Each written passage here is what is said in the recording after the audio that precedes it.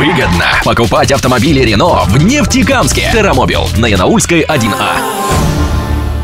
Вратарь Таруса Даниил Тарасов и защитник Марк Рубинчик в составе сборной России стали обладателями бронзовых медалей на молодежном чемпионате мира, с чем их поздравили и вручили подарки от имени клуба. Завершив торжества, перешли к делу. Первый период остался за хозяевами площадки, но счет открыть не удалось. Хотя надо отметить, что Тарос редко покидал зону гостей. Работы у голкипера нефтекамцев Андрея Кореева практически не было. В начале второго отрезка Егор Дубровский переиграл Рафаэля Хакимова, но радость была преждевременной. Гематов, оказавшись в площади ворот, задел вратаря, так что шайбу не засчитали. Середине матча Тарос добился своего и открыл счет. Станислав Голованов отдал пас на Артемия Грязева. Он выстрелил поворотом, но Хакимов отразил бросок. И тут на добивании подоспел Артем Гордеев. 1-0. Вскоре случилась и первая потасовка. Нападающий «Металлурга» что-то не поделил с Артемом Пименовым. До этого 68-й номер нефтекамцев получил травму и не смог продолжить игру. Затем в кулачном бою с противником сошелся Андрей Банников.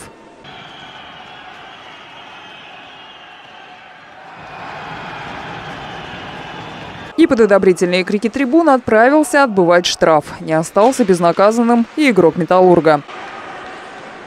Еще одно удаление Столивара схватили за подножку Илье Бачкову. В результате наш защитник получил повреждения. Зарядившись спортивной злостью, нефтекамцы забили гостям во второй раз. Это произошло под конец периода. Егор Дубровский удачно подставил клюшку под бросок, и шайба попала в цель. Ассистентские баллы заработали Максим Рогов и Эдуард Гематов. Счет 2-0 стал итоговым. Андрей Кореев оставил свои ворота в неприкосновенности, хотя иногда казалось, что шайба уже неминуемо влетит в сетку.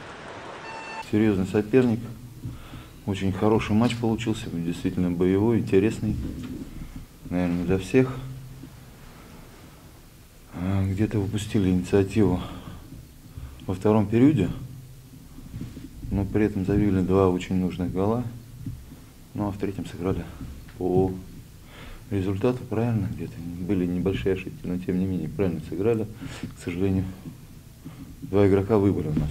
Я не знаю насколько, но не выбыли. Пришлось доигрывать игру в усеченном составе.